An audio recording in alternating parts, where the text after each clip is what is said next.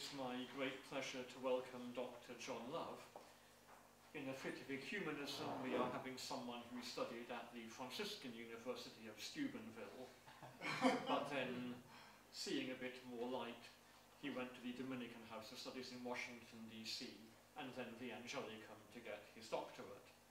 And he's Professor of Systematic Theology at Mount St. Mary's in Emmitsburg and we are very pleased to have him here on sabbatical, writing up his teaching into a major commentary on the Secunda Pars of St. Thomas's Summa Theologiae. And we're very pleased out of that research we have this paper which he will deliver for us, Hand in Hand, Divine and Human Collaboration in Prudential Decision Making according to Thomistic texts. There's just one little, two little announcements one that we have our colloquium on Thomas Aquinas and modern biology this coming Saturday, and there's room for more people if you haven't yet booked and want to drum up some more support. And next week, Father Thomas Joseph White from the Thomistic Institute in Washington, D.C. will deliver the final seminar in this series, and that will be at half past two in this room half past two on the 8th of March to avoid a clash with the Humane Philosophy Project and Ian Ramsey Centre. So, Dr. Love.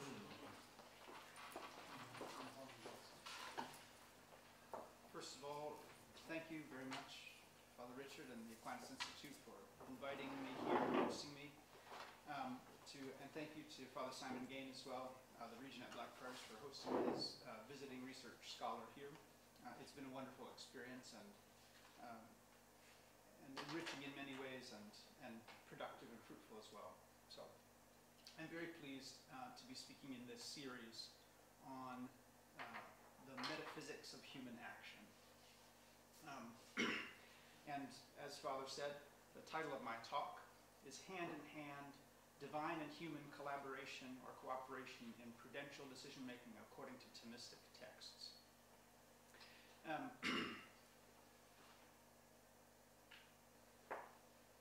for the past 10 years, uh, with my students at Mount St. Mary's Seminary in Maryland, we have read every article of every question in the Secunda Pars of Aquinas' Summa Theologiae each year, uh, and summarized every article in class together each year. Now, my students have found this experience very intense, but also holistically formative uh, in each of the areas identified uh, for formation in Pastor Dabo Vobis, that is, human formation, intellectual formation, spiritual, and pastoral formation. In the course of reading through the text every year, there was one time uh, a deacon was taking the course in the, in the the last term of the year, we were reading the Secunda Secundae, and we came upon the uh, integral parts of prudence. And he was amazed and enthralled because, he said, in human formation during his six years in seminary, he had lost a little weight and learned to keep a good schedule, and after that, he couldn't quite figure out what to do. But the integral parts of prudence offered specific and concrete targets for human formation, you know, that would make him a better decision maker. And he really wished he'd had this text in front of him earlier so that he could have been working on those things during his seminary years. Uh, and he asked if anyone had ever written that up, and I said, I, I didn't know, I didn't think so. Uh, so in part, this project is a response to that request uh, and a hope of being sort of practically, concretely useful, uh, you know, at my home institution and, and to whoever may find value in it. Um, so, that's where we're coming from here.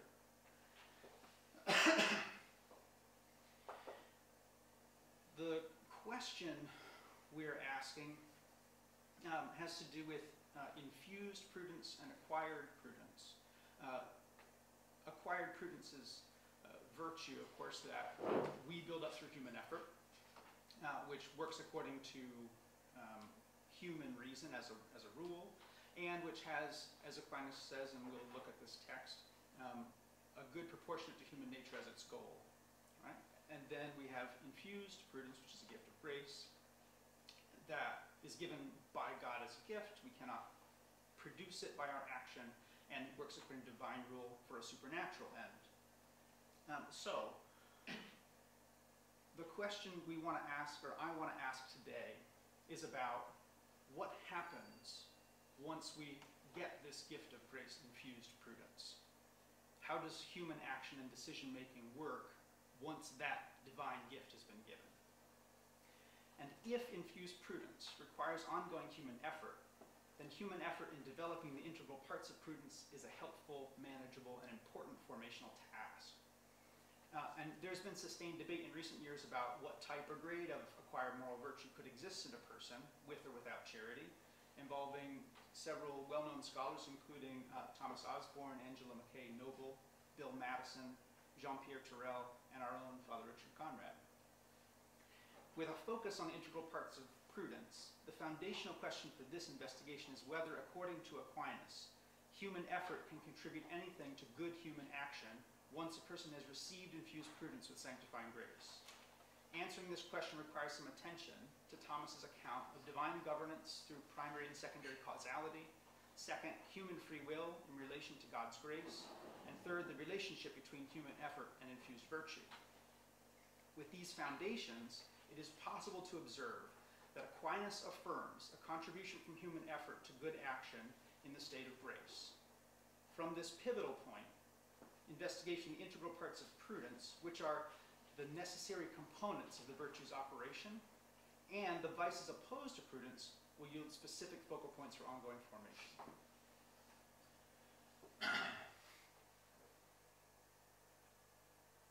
so, now we, we move into the antecedent principles fairly briefly to set the stage. First, about divine government and primary and secondary causality. According to Aquinas, God made the world and guides it to its end, which is the universal good, that is, God Himself. In the execution of His providential plan, however, Aquinas maintains that God, quote, makes some of the things that He governs to be causes of others in government, unquote. He specifies that some things, according to their nature, act of themselves, having dominion over their actions. These agents who act freely are moved interiorly by God, prime mover, the principle of motion, because he is perfect act without potency. And Simon Kopp presented various interpretations of this reality a couple weeks ago in our series.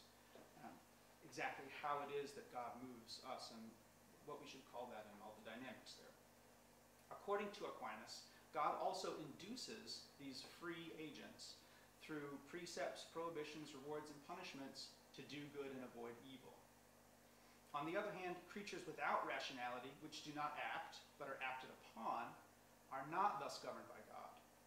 They're not induced and pulled and pushed and, and invited to act on their own, uh, from their own power, not besides God's action. Thomas explains in the third reply of uh, Prima Pars, question 103, Article 5, that a rational creature governs itself by its intellect and will, but both of these must be perfected by the divine intellect and will. And in a question regarding the motion of the will in the Prima Secundae, Thomas specifies that God moves a human being will as the universal mover to the universal object of the will, which is good. Without this universal motion, a person cannot will anything.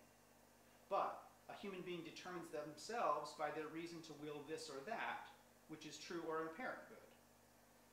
So God has this, gives us this universal orientation, Thomas says, but we get to select. You know, after we're ordained to the good, we get to select which thing or other, and it may be a true good or an apparent good. That, that's the structure he's setting up there. Nevertheless, sometimes God moves some specially to the willing of something determinate. So, in, in addition to the general orientation of the good, God also sometimes uh, points us to a particular good. Um, and he gives the example of the way in which God moves people by grace. It seems to me that here there is an apparent tension in Aquinas' account of God's providential governance of the world. On the one hand, all motion must originate with the prime mover, who is pure act, as the only possible origin of motion. in the first place. On the other hand, he affirms that human beings determine themselves. Citing Pseudo Dionysius, Aquinas explains that God does not destroy, but instead preserves the nature of things. That is, he moves things in a way that is fitting to the nature of that thing. Since the will is not determinate to one thing, but has the possibility of moving to many things, God moves it so that its movement remains contingent and not necessary, except in those things to which it is moved naturally, he says. That in Prima Secundae, question 10, article 4. In other words, all motion does originate with God, but he moves creatures that are free, such that they remain free or self determinative in some way, even though he is moving them. All right. So, now we move to the reality of human freedom. Aquinas steadfastly maintains the fact of human freedom. As mentioned above, this type of agency, under which the actor is a true but not exclusive source of their action, results from our rational nature. Through the human intellect, a person forms a judgment in the case of particular action, which is not determined to one conclusion, but may follow opposite courses, he says in Prima Pars, question 83, article 1. That's the question that's about human freedom, which he calls free will. Aquinas maintains this ability to follow one's own judgment to, to a seemingly extreme point when he allows that when, quote, the will is offered an object which is universally good and good from every point of view, that is God himself, if it wills anything at all, it cannot will the opposite of such a good. So embedded in that statement is the, the possibility that a person may simply not will in the face of this good. And there's a kind of cognate with the primordial sin of the devil, um, and on Aquinas' account, that even without the prior influence of sin, the devil commits a sin of pride, which is a kind of overestimation of his own excellence. And Aquinas says either the devil chose to have only that happiness which he could gain by his power, that is, to go only as far, as his power could take him, or to attain by his power alone the likeness to God that is bestowed by grace, that is, attain supernatural participation in God's life through his own natural power. So the devil made that choice one or, one or another version of pride in order to reject God's plan and, and condemn himself to hell. Aquinas affirms that the one last ultimate good that all human beings pursue necessarily is complete, perfect human fulfillment. And that's in Prima Secundae, question 1, article 7, also question 5, article 8. He observes, however, that people seek this happiness through the attainment of many different goods.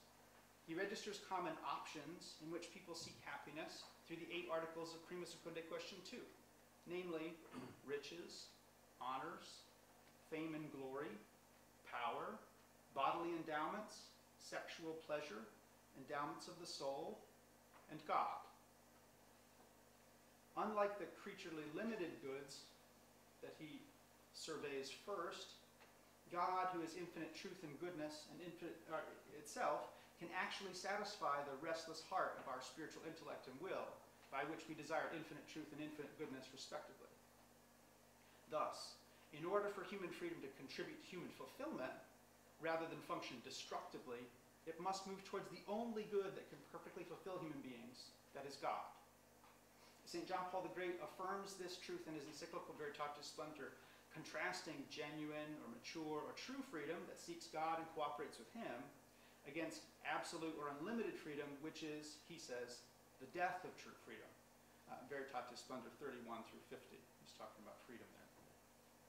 Pinckaers also referred to these views of freedom as freedom for excellence towards God and freedom of indifference towards whatever I want to choose.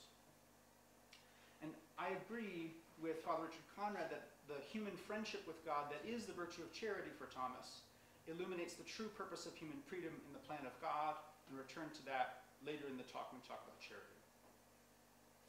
The primary example in which we see freedom's characteristic selection among options is the choice of the means to the end, what Aquinas calls electio, which is a useful good, he says. Because electio is a good, Aquinas identifies it as an act of the will, but one united to the intellect's judgment regarding the means of the end, as matter, the will's electio is the matter, is united to the form, which is the intellect's judgment. Um, Aquinas reaffirms the fact of human freedom consistently throughout his moral theology. Um, for example, when he's establishing the voluntarity of human acts in Prima Secunda, question 6, Article 1. Uh, while at the same time maintaining God as the source of all motion or primary cause, which he mentions in that same article in the reply to the third objection. So he's keeping those two together God's motion and our freedom. God sustains the harmony between, or sorry, Thomas sustains the harmony between God's design for reality and his action in history when he addresses the advent of supernatural grace into creation. so, grace perfects nature. Aquinas wastes no time when explaining his understanding of the relationship between grace and nature, famously affirming in the first question of the Summa Theologiae that even when God gives supernatural grace, it does not destroy, but rather perfects nature. Writing about infused habitus, and I'm going to use this consistently, so I want to clarify what I mean and why I'm saying this Latin term. Uh, when we say habit in English today, most people think a mindless mechanical thing I do without thinking.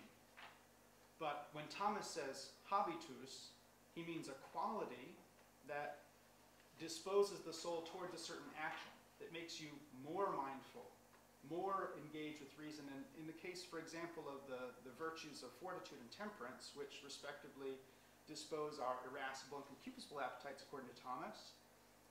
The, the virtue is itself reason's order for those faculties, for those passions, and the powers that have those, those different kinds of passions.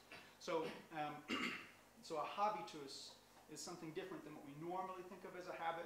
In order to kind of keep us in that mind frame, I'm going to use habitus when Thomas talk, is talking about that reality, those qualities that dispose us uh, and make us mindful so, uh, when writing about infused habitus, Aquinas affirms that God works in all according to their mode and does nothing contrary to that which is suitable to nature. But, the, but this does not hinder God from doing what nature cannot do. in Thomas's explanation of the Isaiah and gifts of the Holy Spirit, which, as he says, perfect the operations of even the theological virtues, moving us sufficiently to our supernatural end, Aquinas clarifies that human beings are acted upon by the Holy Spirit such that human beings also act themselves insofar as they have a free will. So grace doesn't take away freedom. The interlocutors in the scholarly debate about the relationship between acquired and infused virtue and Aquinas' moral theology substantially agree on these antecedent principles of Christian moral life that we've set out today. Scholars disagree, however, about the application of these foundational principles based on divergent interpretations of Thomistic texts regarding virtue and virtuous action, especially under the habitus of sanctifying grace. For the purpose of this investigation of the usefulness of Aquinas' articulation of the integral parts of prudence, it is important to understand his theory about the nature and function of acquired and infused virtue in the Christian moral life. The interpretations of various scholars will help to sharpen our reading of the relevant Thomistic texts, and move towards a conclusion about whether or not, according to Aquinas, human effort of a person who has sanctifying grace can be fruitfully directed towards improvement in the skills or operations which are the integral parts of prudence.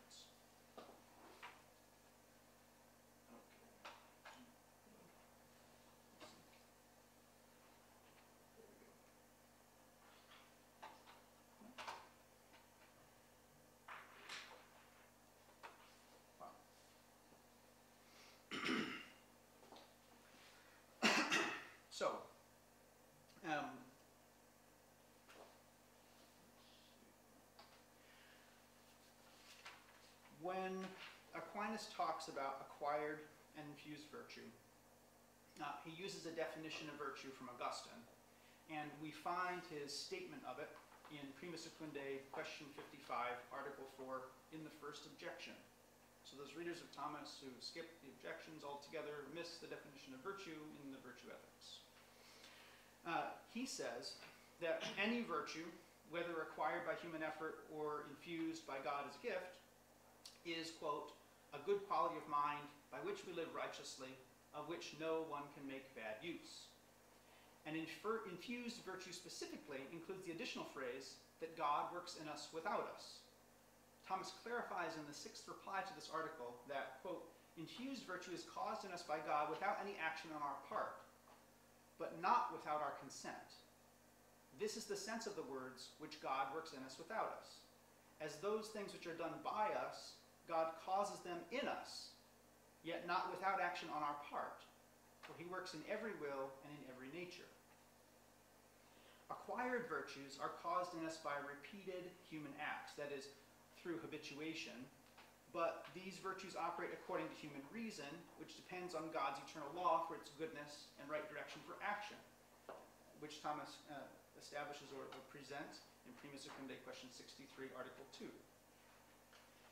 Virtues that are caused in us only by God's operation or gift, that is, through sanctifying grace and the theological virtue of charity, direct us immediately to the good as defined by the divine law. These are the infused virtues that we receive from God with sanctifying grace. Aquinas explains in Prima Secundae, question 63, article 4, that acquired virtue and infused virtues are not of the same species. This is true because virtues derive their species from the formal aspect of their objects, that is, the good to which they are directed, and the rule according to which a virtue guides a person who has it.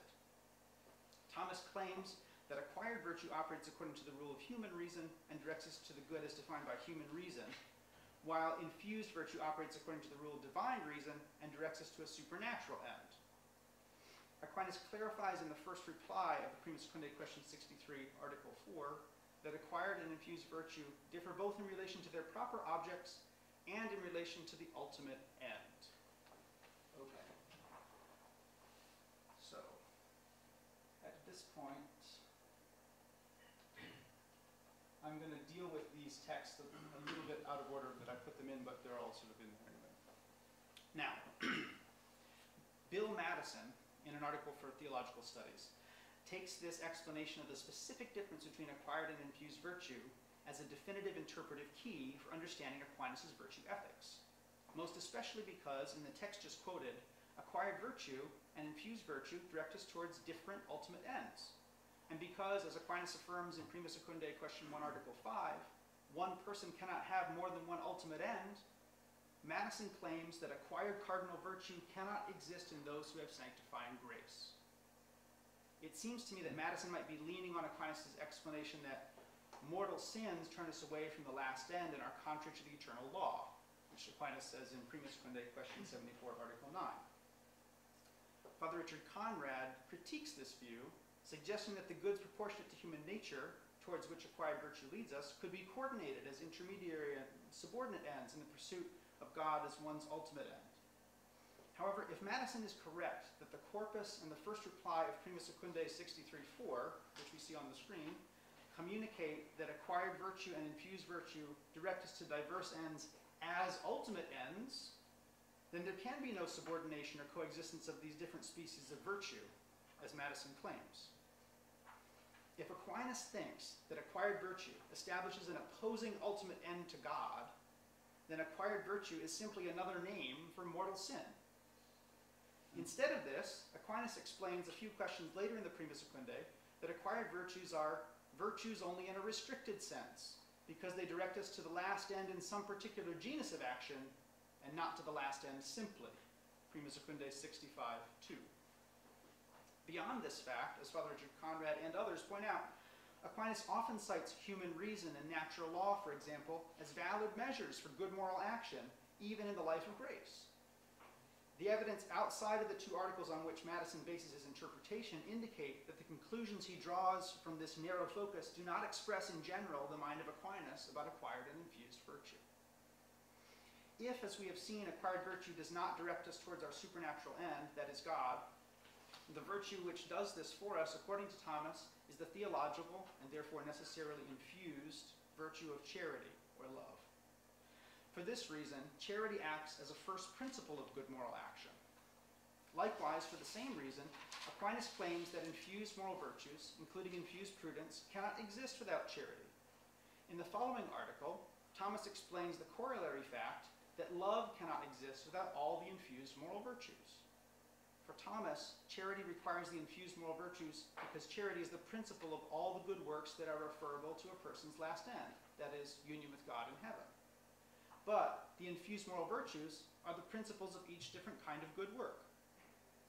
Aquinas interprets the phrase, charity is the form of the virtues, to mean that charity directs all other virtues to its end. We find that in Secunda Secundae, question 23, articles 7 and 8, for example. Similarly, charity is the mother of all virtues, because by the desire of the last end, it conceives the acts of the other virtues, which again we see in Secunda Secundae, question 23, article 8, ad 3. Connecting charity to the earlier discussion of freedom, the friendship with God that charity is, with its requisite mutuality entailed in friendship, requires freedom as a necessary precondition. In other words, if the end that God intends for human being is participation through divinely infused charity in the divine life as communion of persons in love, then we must be free. Thomas explains that whoever loses charity through mortal sin, any mortal sin, likewise forfeits all the infused moral virtues. On the other hand, Thomas holds that one sinful act does not destroy humanly acquired virtue, since it is a habitus and not an act, a disposition to action, and because the use of a habitus is subject to our will. By this, he means that we may have a habitus, but not use it in a particular situation without destroying it, if we do not remove the principle of that habitus or build a contrary acquired habitus by a single action. He says that such instantaneous habitus formation is impossible in the appetitive and interior bodily apprehensive faculties, but possible in the intellect and sometimes in the physical body. Prima Secundae, question 51, article 3. Due to the fact that a person may receive infused virtues before they have built up acquired virtues, or retain acquired virtues after they have lost charity and all infused virtues through mortal sin, Father Richard Conrad suggests that infused and acquired virtues may complement one another in the Christian life. Thomas concludes that the infused moral virtues are connected through charity, directing all infused virtues to its end, and through prudence, coordinating the operations of the virtues in particular actions. Prudence connects the moral virtues because it is, as Aristotle said, right reason about things to be done, and the charioteer of the virtues. The moral virtues that perfect the appetitive powers, including justice in the will, fortitude in the irascible appetite, and temperance in the concupiscible appetite, direct us toward good and appropriate ends. But morally good action requires, in addition to this, that we make correct choices of the means to appropriate ends. And this is done through the virtue of prudence. According to Aquinas, prudence is a virtuous habitus, as a virtuous habitus, disposes a person to act well with regard to the means to the end, particularly in the intellectual operations that are required in this process. This includes taking counsel about the possible means to the intended end, deciding to pursue a particular means to a particular end, and putting that ultimate practical judgment into effect through the act of command. When prudence disposes us to perform each of these tasks well, it, while, it, while prudence disposes us to do each of these well, its primary focus remains on command, actually performing the good action. Thomas explains acquired prudence is caused by the exercise of acts, while infused prudence is in us as a habitus with the infusion of grace. People who do not have the use of reason uh, retain the infused habitus, but do not have the act of infused habitus.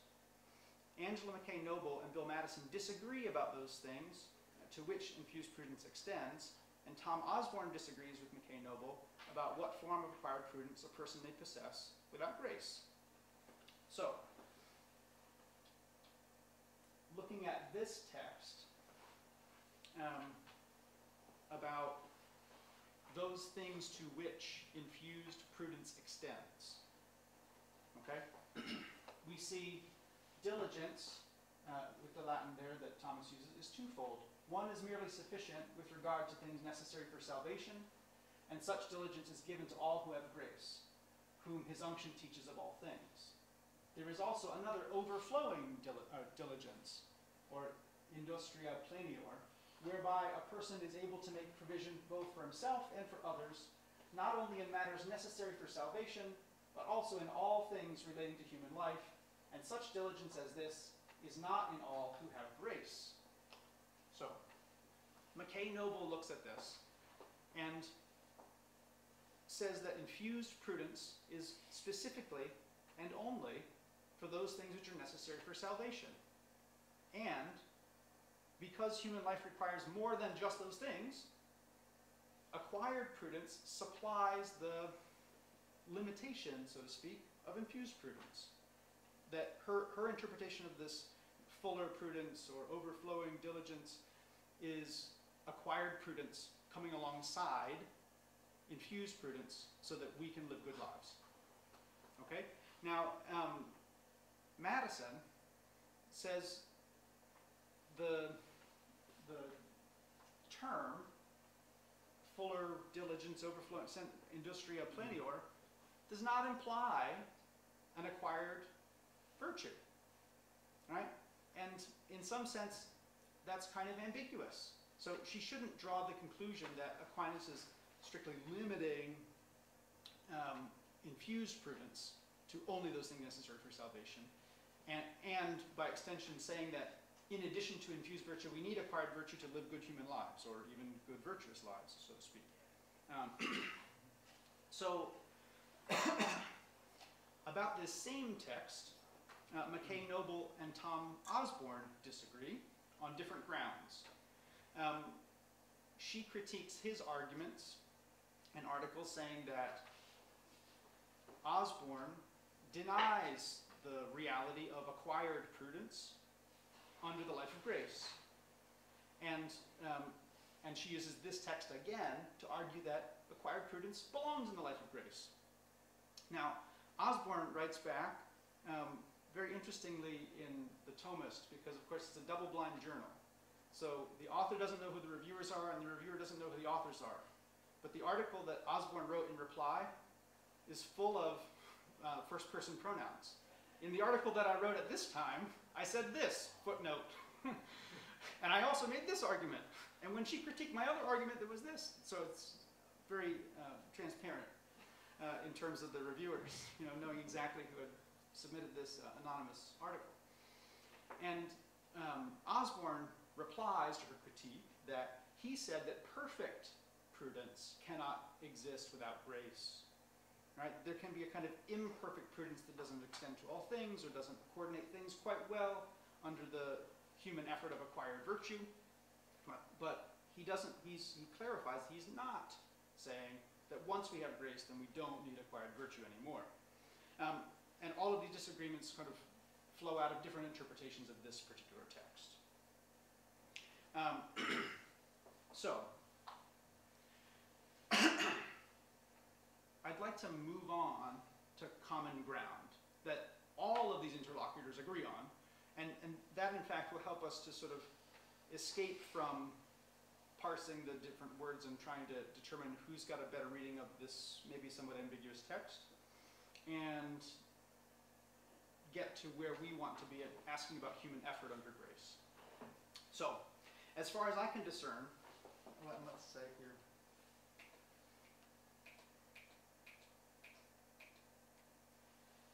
As far as I can discern, every scholar whose work has been investigated thus far, plus Inglis and Cessario agree, as Mattison writes, the requisite psychological structures of acquired virtue persist in the life of graced virtue.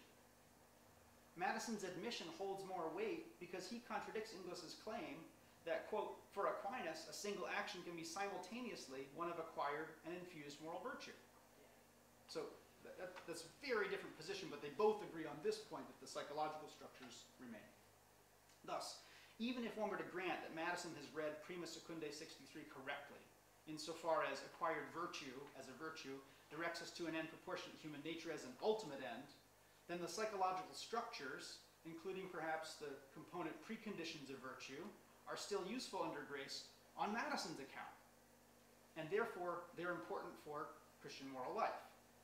As we'll see, integral parts of a cardinal virtue are precisely these components which are necessary for a virtue, but because they are not themselves virtues, do not include the dispositive or directing characteristic which virtues entail. So it sort of escapes Mattison's critique entirely.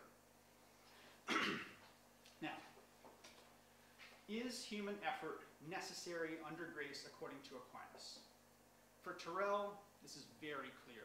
And in uh, his book, St. Thomas Aquinas, Volume 2, Spiritual Master, he says, the gift of grace always calls for human collaboration. um, very quick, quickly, we're going to hit a, a few sort of other evidences that Thomas thinks human effort is still necessary under grace. First, uh, Aquinas explains that in order for human beings to be perfectly fulfilled, we must attain or enjoy the perfect good that can satisfy all our desires, namely God. Our attainment, however, progresses through successive actions, Prima Secundae 5, question 5, article 7, towards a culminating effect, specified in Prima Secundae, question 3, articles 4 and 8, as essentially contemplating God as he is in himself, and consequently, as a proper accident of that act, enjoying God in the will. The problem with presumption. Thomas identifies the problem or incongruity in the sin of presumption that is against hope as, quote, holding that there can be no pardon without, or that there can be pardon without repentance, or glory without merits. Human cooperation, collaboration is essential to our, to our redemption salvation. All right. We're also going to look at the function of the Isaiah gift of counsel, which Aquinas connects to prudence in the Secunda. Um, uh, and that's in Secunda Secundae, question 52. Uh, in the first article of that question, uh, Thomas asks, Is counsel a gift? And he says that God moves everything according to its mode, and so rational creatures are moved according to the research of reason. And this is counsel. In the first reply, he says, Prudence, whether acquired or infused, directs a person in counsel according to principles that the reason can grasp. So here again, I think we see another way around Mattison's narrow reading of those texts in Prima Secundae. Whether acquired or infused, we work according to principles reason can grasp. Thus, the counsels of men are fearful and uncertain from the Book of Wisdom. By the gift of counsel, a person is directed as though counseled by God. Again, in the third reply, God moves human beings according to their mode, that is, without prejudice to their free will, and thus the Holy Spirit counsels us about what we have to do. Um, Aquinas continues uh, through that question to more or less reaffirm these points about how God directs us through counsel, not through, let's say, replacement, uh, but giving us space to be agents and actors in our own moral lives. All right. Um, we're going to look also quickly at operative and cooperative grace in his questions on grace at the end of Prima Secundae, Aquinas introduces a distinction between operative and cooperative grace. He explains that under divine help, God gives operative grace to move the mind to turn towards Him. With cooperative grace, Aquinas claims that God strengthens the will interiorly so as to attain the act of command, of course, again, tied to prudence, and grants the capability of acting. So, on Aquinas' account, God both initiates and moves, and gives us power to move. Similarly, with regard to habitual grace, God heals and justifies the soul with operative grace, and with cooperative grace, equips the free will for meritorious actions which spring from the human being's free will. All right. I would also like, although this is a presentation on um, Thomistic texts, I think it's important uh, in our theological work to touch base with the soul of theology, of the scripture, um, as a kind of test. And so um, we can look very briefly at Jesus in the garden.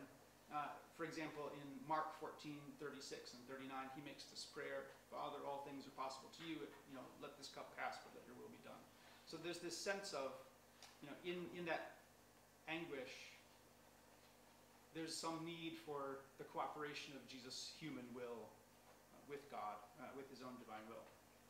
Mary at the Annunciation cooperates with God. Zechariah, on hearing God's message, asks a question which indicates he doesn't believe and is struck dumb.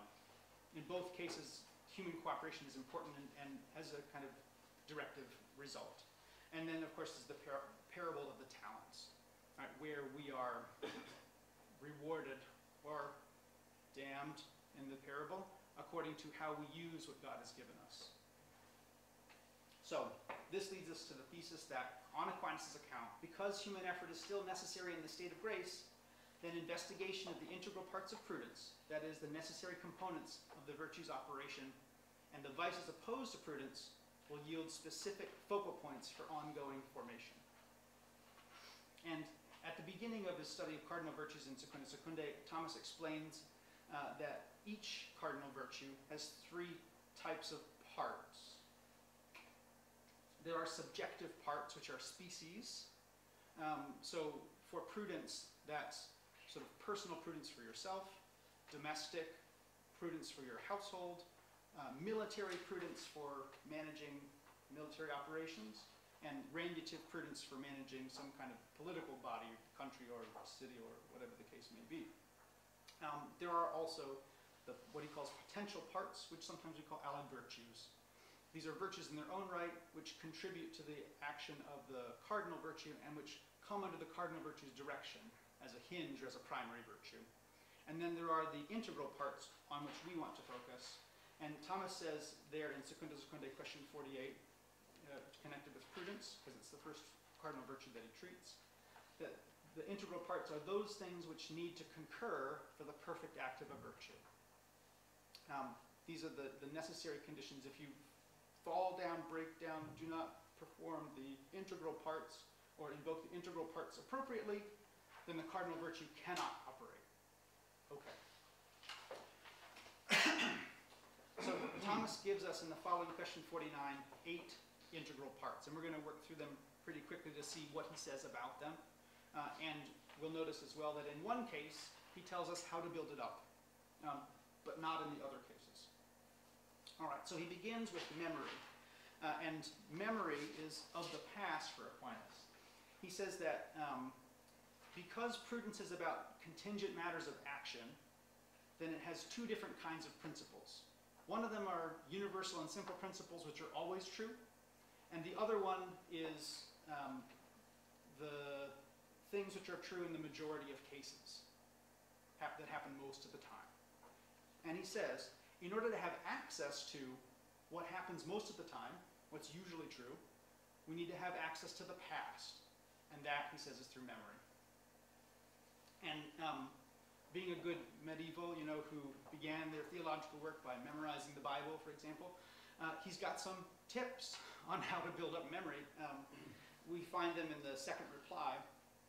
Um, and he says, and again, here's something about, specifically about prudence as an intellectual virtue uh, that's built up through practice, through diligence, that, that's in industria. Right? So he says, um, prudence is gained through practice or grace, and memory is gained through art and diligence. Okay? So this, this integral part is gained through art or diligence. And he says there are four ways in which memory is built up. First, uh, through the formation of a suitable but somewhat unwanted image. It matches the reality, but it's unwanted, it's unlike in a certain respect. And he says this unwanted characteristic makes those images more memorable, and the thing we're trying to remember more memorable to us. Um, and um, an image is important because our mind is better able to grasp sensible things than abstract things. Okay.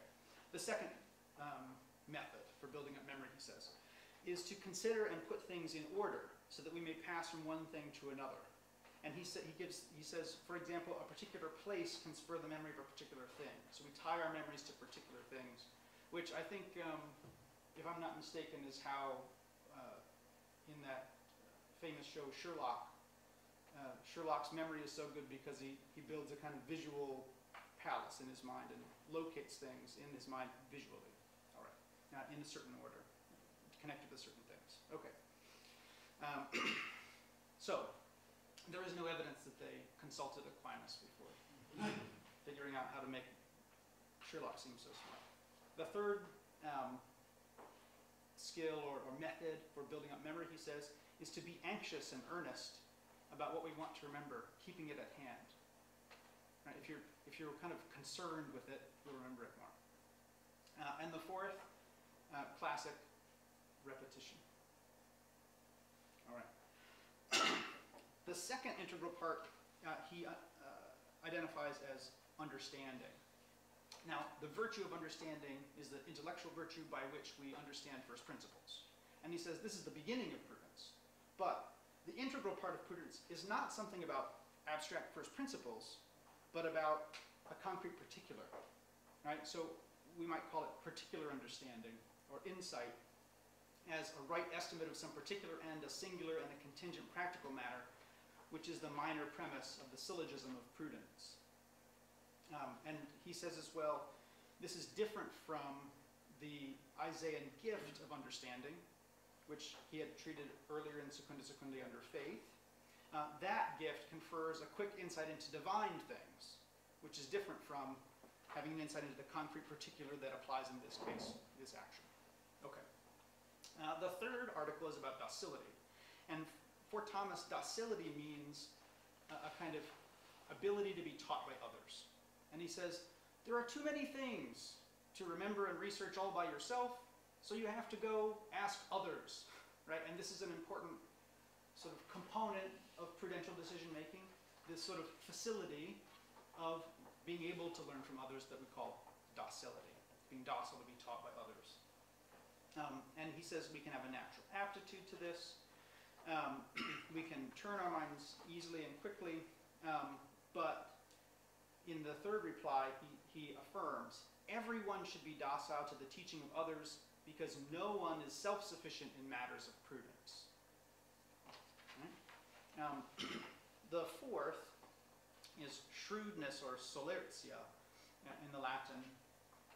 Um, and this, as you see, is uh, equipping us or, or is the act by which uh, we see the truth ourselves right? Uh, he calls it a happy conjecture about any matter, or an easy and rapid conjecture in finding the middle term, uh, sort of alighting on the truth quickly, and not relying only on other people to teach us, but being able to do it ourselves too. Um, the fifth, he calls reasoning. Um, and this, he says, is, um, is the ability for, to move from one point to another. Um, here, and, and this is especially important when we are taking counsel or deliberating about what to do. We have to be able to move from one idea to another to be able to put different facts or circumstances or different things together so that we can narrow down to the point where we can make a, a particular specific decision about what we're going to do. Um, the sixth integral part is foresight or farsightedness, the Latin is providentia, is obvious connection to God's providence, right? Um, and this, he says, is the primary part of prudence. Among the integral parts, this is the primary part because um, prudence is about ordering the means to the end. And um, the things that are under human providence are contingent matters of action that can be done by a human being for an end, he says. And these contingent matters are future contingents because both the past and the present are fixed. What has happened and what's happening right now is already set. What we may arrange is what is going to happen in the future, since the far sightedness. Um, and he says uh, in the third reply to this article farsightedness is about right order to the end, so that it requires good counsel decision or judgment, and command. Right? All of those things, all of those acts of the intellect that come into decision making are ordered to the end of accomplishing good work for a good end. Um, the seventh is circumspection. And um, by circumspection, we take account of the circumstances. We're not so narrowly focused on how the means we're going to choose to this end, but also the surrounding circumstances which of course Aquinas has explained and many have understood deeply affect the morality of actions. So if we're going to make good decisions, we have to be good at considering which circumstances are relevant and how they apply and what that means for our process of decision making. And finally, caution, which I think typically is what people think prudence is. Just caution. Or maybe not acting. Um, but for Aquinas, caution is avoiding obstacles. And uh, there's a lovely phrase at the end of the respondeo in this article. He says, Caution gives us such a good grasp on good that we avoid evil. Right? And for him, that's always true. This action and life and everything is focused on the good uh, and aiming at the good, moving towards the good. Um, he adds here that in the third reply, reason can grasp evils that are of frequent occurrence, and caution guards against these so that we avoid them altogether or reduce the harm they inflict. But evils that occur rarely or by chance are infinite in number, and so reason cannot grasp them. Thus, so no precaution can be taken against them. Uh, again, we're working within the limits of reason, which is an interesting sort of vision of how prudence works, even, even under grace, say. Um, so, exercising prudence can reduce the harm that the surprises or chance happenings inflict, but we can't take caution against them because we, our reason can't account for that infinite possibility. Okay. So, I would like to uh, move expeditiously uh, here, thinking about how these integral parts play into the different acts of the intellect that prudence guides. Um, so, for Thomas and his conception of human action, uh, once the, we have intended a certain end, then we start to think about the means. And prudence is focused there, on the means to the end, as we've seen. And there are three actions of the intellect that he says are entailed in thinking about the means. The first is counsel or consilium, and this action only happens in cases that are difficult, um, only in cases that are perplexing. We don't always take counsel about things that are small or things that are, seem very clear. Uh, and sometimes we mistake that, and we should have thought about it before we acted, and so that, that is the vicissitude of human life. But um, in this step of counsel, it seems that there's a place for all eight of the integral parts.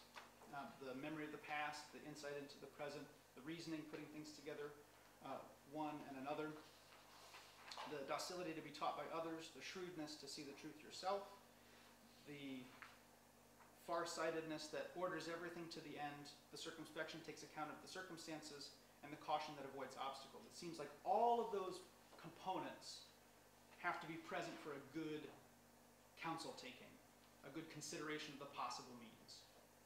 The second act that prudence guides is judgment, right, which is the, the decision uh, that intellect and will make united as form and matter of a single act, according to Aquinas. Um, and here it seems especially this need for farsightedness, of providentia, of ordering everything to the end. Um, let's say the, the previous deliberation has made the preparations and presented the possible options. Um, and at this stage, farsightedness order those preparations toward accomplishing the intended end through the means that have been deliberated. Pushing through. Um, and then with imperium or command, the primary act of prudence, actually doing the good act, you know, taking this internal decision and making it into a, a, a sort of um, concrete action, um, carrying it out it seems that especially farsightedness, circumspection about the circumstances, and caution foreseeing evils is important because sometimes between the time we decide what to do and we actually do it, different circumstances or different obstacles may arise, and so we need to, in the execution, aver to those integral parts as well.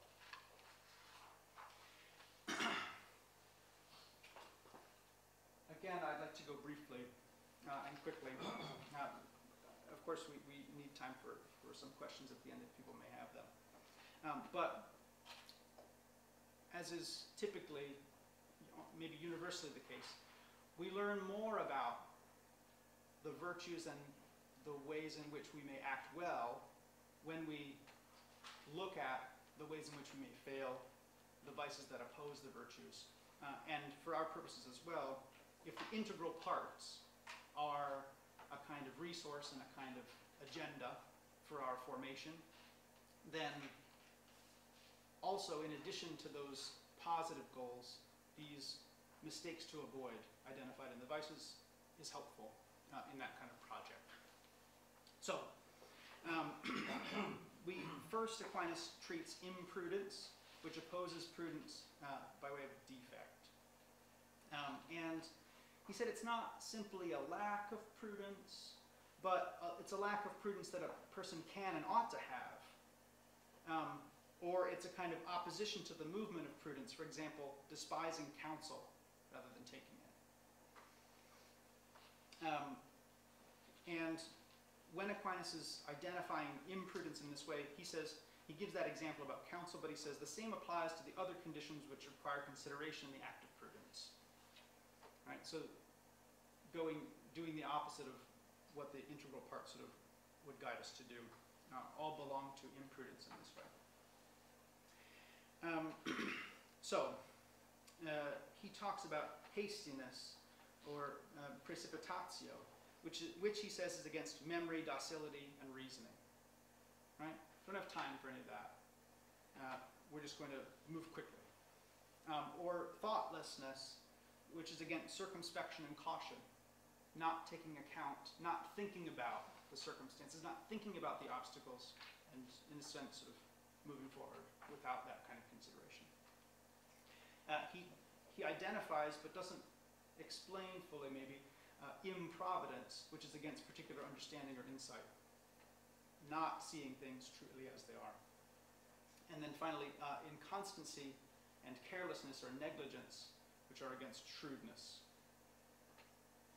Um, so, um, when he continues, he'll say that hastiness interrupts the orderly movement of taking counsel, and he gives an order for how it should happen memory of the past, understanding of the present, shrewdness in considering the future outcome, reasoning which compares one thing with another, and docility in accepting the opinions of others.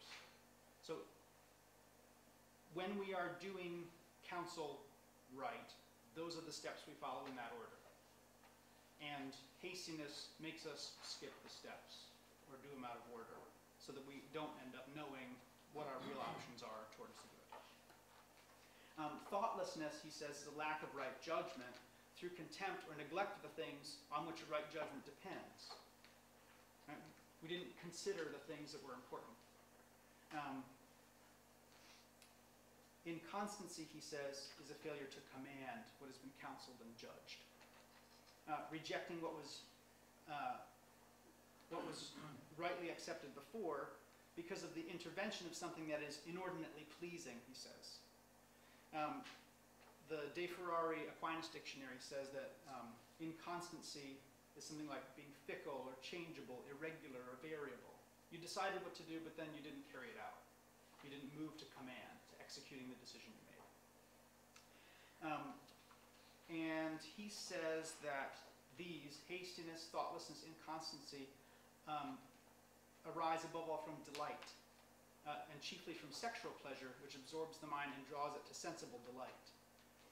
Um, so, if we move over to negligence against shrewdness, shrewdness is also called solicitude, right? Uh, negligence opposes the internal act of election, that, that, that decision about what I should do. Um, and, and of course, election is, or electio is united to judgment. So inconstancy fails in command, negligence fails through a lack of prompt will. Right, we've counseled, and sort of the options are on the table, but we don't pick one.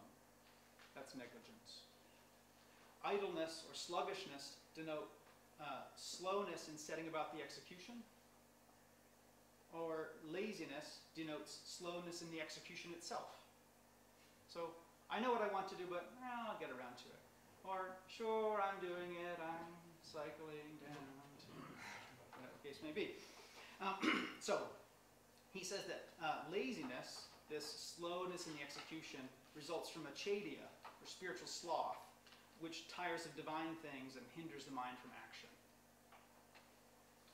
On the other hand, we have false or misdirected prudence, and this is a kind of uh, opposition by excess. Um, and here we see some of those things that maybe Mattison was worried about under acquired virtue. Uh, prudence of the flesh looks upon bodily goods as the last end of the person's life, which is a sin, because bodily goods are not the last end of human beings, according to Aquinas. Um, but he says, directing the love of the goods uh, of the body to the good of the soul is not sinful. So this is we're not surprised to hear that Thomas is not saying soul good, body bad, but there can be a kind of harmonization of us towards this end. Um, and he moves from that to talk about craftiness or astutia. Um, so it makes me a little reticent to call people astute because of that sort of craftiness. Um, he says, when the purpose of the reason is directed to an apparent good, which is not a true good, this is prudence of the flesh. Uh, using fictitious or counterfeit means to an end, whether good or evil, is the sin of craftiness. Right? So it's specifically about the means and shady means, right? Um, that's craftiness. In Article 4, craftiness is the process of thinking out counterfeit and apparently true means to any end whereas prudence is thinking out right ways to a good end. Craftiness doesn't care about whether the end is good or evil, and it's about counterfeit ends and apparently true. Let me give the appearance of doing the right thing when really I get what I want no matter if it's good or bad. Guile is a form of craftiness in words or deeds. Um, it's the actual execution of crafty thinking. Craftiness is about thinking and planning, guile is about performing that craftiness. Uh, it's ascribed chiefly to speech because the execution of craftiness with the purpose of deceiving is effected first and foremost by words, Aquinas says in Article 4, uh, second reply. Um, and, but guile is the execution whether by words or deeds. And that contrasts with fraud or cheating, um, which are deeds only according to Aquinas. Uh, execution of craftiness only by deeds. Uh, and the, the final sort of problem we may run into is worry or solicitude about temporal and future things, say. Um, and again, we hear this thing that it is unlawful, that is, it's sinful to make temporal matters your last end, and it is sinful to be so earnest about temporal things that you are drawn away from spiritual things, which ought to be the principal object of our striving. Now, we may also be solicitous about temporal things through having too much fear that we will lack what we need if we do not do what we ought to do. And he gives a kind of guide there in the second reply that superfluous solicitude, which unsettles the mind, must be banished. So if we're worried about temporal and future things so much that it unsettles the mind, that's this part of false prudence that needs to be put away. Um, but the solicitude of a person who gains their daily bread by bodily labor is proportionate. So we don't walk out saying, "Oh, God is going to take care of me," you know, sort of. I'm going to go out and like work and find work and resources so that my wife and I can feed our six children every day, every day, and that's fine. That's good, especially if you ask them. Um, so. Um, there's also a kind of solicitude about temporal things under the works of mercy. And he says these are directed to charity's end, which is not sinful unless the solicitude is superfluous, which mean, by which he means more than is necessary to accomplish the good work, or again, unsettling the mind. So even if our, our solicitude is to feed the hungry, if it unsettles the mind, he says, you're, you're placing too much emphasis on what you're doing to accomplish this. Right? Not enough trust, say. Um, he says uh, in the next uh, seventh article, solicitude should focus on the task at hand.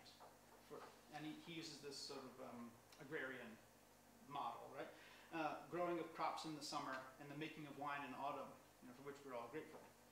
Um, it is wrong to focus on and strive for something that is have solicitude before it is time to focus on that thing just that it is wrong to make temporal things your last end, seek them in excess of the needs of the present life, or oppose yourself to God for the sake of these things. Those are the boundaries of solicitude about temporal and future things. All right. Um, so, um, it seems clear to me, having investigated the different positions and looked at the texts, that human effort is still necessary under the influence of grace according to Aquinas. And that being true, it is helpful, it is important, it is manageable to study and look at and attempt to grow in the integral parts of prudence and to avoid the vices that are opposed, so that we may become better decision makers, which of course applies to all of human life, um, and hopefully especially to um, the, the life of Christians, which is directed last and foremost to God and uh, our life with Him. Um, I'll note as well, Aquinas gives us this articulation of the integral parts, but only in the case of memory does he give us methods to improve them. So he's given us goals, so to speak, um, but it's up to us to devise or resource, investigate, find methods by which we can grow in these things, build them up. Um, and that's our, our task, our charge, if we want to make this a kind of practical and useful formational tool, uh, this treatment of the integral parts of prudence according to Aquinas. And um, for very many reasons, I will thank you for your attention and conclude my talk there.